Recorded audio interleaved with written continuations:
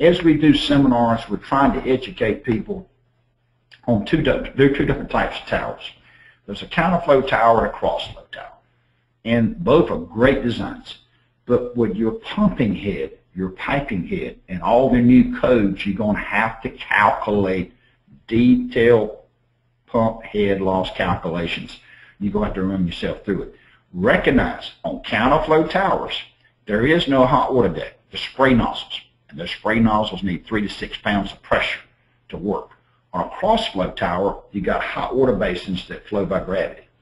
The message is the counterflow tower has to have three to six pounds more pressure on your condenser water pumps than crossflow. At three to six pounds of pressure, maybe 10 to 15 feet of pump head, don't come up short. You got to do a detailed pump head loss calculation on your towers. Listen to me, please. Take the time to account for the pressure nozzles. You're going to need a safety factor on both, fine, but you can't hide behind the safety factor. You're going to be short if you don't take the time to recognize the difference in the counterflow and the crossflow designs. Both work great, but recognize the pump head requirements on the counterflow will be higher. Ladies and gentlemen, this is a counterflow tower with the pressure drop. You see the spray nozzles through it, and the air's coming from the bottom going up. Water's coming from the top down, so therefore it's called counterflow. This is a piping seminar. What we're trying to teach you is you've got to put that three to six pounds of pressure where? Into your pump head loss calculation. Just that simple.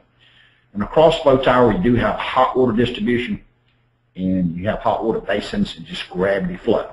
So you don't need the extra three to six pounds there because gravity takes care of it. So if you kind of look at all this counterflow versus crossflow, we kind of put this in here to give you give you a picture of this. Um, it can be a pretty significant operating cost difference between the counterflow and the crossflow if you start looking at that pump head loss calculation required for the counterflow tower versus the crossflow. The main thing I'm trying to get across to you, don't come up short. ASHRAE says you got to do a detailed pump head loss calculation. When you do that, account for this to make sure you got the right pump head on your condenser water pump. Thanks for tuning in. Have a great day.